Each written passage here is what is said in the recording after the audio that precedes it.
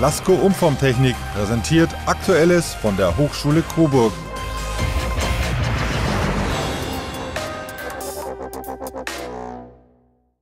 Ja, das ist eine mechanische äh, ältere Uhr. Also Kuckucksuhr wäre zu viel gesagt. Das ist also eine ganz filigrane Sache, wo man schnell was kaputt macht. Gerade hier, das ist ja so ein Bimetall. So. Ja, Pendel, Pendelmetall, also hauchdünn.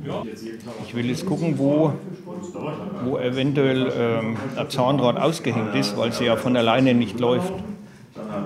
Oder wo äh, Staub drin ist. Weil Staubartikel in der Mechanik, das ist fatal manchmal. Ne? Oder es läuft irgendwo eine Achse äh, trocken, weil normalerweise ist da ein ganz minimaler Tropfen Öl drin. Und da in das Öl das setzt sich gerne der Staub ab. Bei Hobbybastler Jochen Wenzel bekommen kaputte Sachen eine zweite Chance. Einmal im Monat repariert er, was die Besucher des Repair-Cafés so mitbringen. Uhren, Radios oder auch mal ein gebrochenes Stuhlbein. Vor allem ältere Coburger nutzen das Angebot gerne. Reparieren ist besser als wegwerfen, das findet auch Klaus Schulz. Sein kaputtes Navi will er wieder zum Laufen bringen. Aber wenn man dann äh, zum Reparieren in das Fachgeschäft geht, kriegt man zu hören, haben Sie gleich Neues, wir haben da ein Angebot, legen Sie 120 Euro auf den Tisch und können Sie sofort mitnehmen. Und das ist also nicht mein Ding. Im Gegenteil, wenn es eine Kleinigkeit ist zum Reparieren, wird es nochmal mobil gemacht. Informatikprofessor Michael Engel hat den Fehler schnell gefunden. Und wir haben jetzt hier, das ist diese Kabelverbindung, die haben wir jetzt mal neu reingesteckt und erstmal sieht es gut aus, aber wir warten jetzt erstmal ab und schauen einfach mal, ob das Ganze auch gut bleibt oder ob es nur für ein paar Minuten so ist. Aber es wäre halt zu schade, sowas wegzuwerfen, weil so ein Navigationsgerät kostet immer noch 100 bis 200 Euro.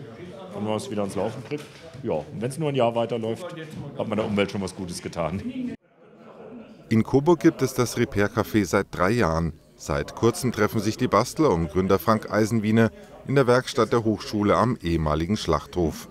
Die ist gut zu erreichen und hat auch noch andere Vorteile. Dass wir Geräte hier vor Ort nutzen können, wie zum Beispiel den 3D-Drucker, wie zum Beispiel die Elektronikwerkstatt und auch ähm, manche Problemfälle, die wir bisher nur verzögert hätten lösen können, eben hier wesentlich schneller umsetzen können. Das Repair Café ist kostenlos. Wer etwas zum Reparieren bringt, muss aber auch selbst mal Hand anlegen. Geöffnet ist das Café jeden zweiten Samstag im Monat von 14 bis 17 Uhr.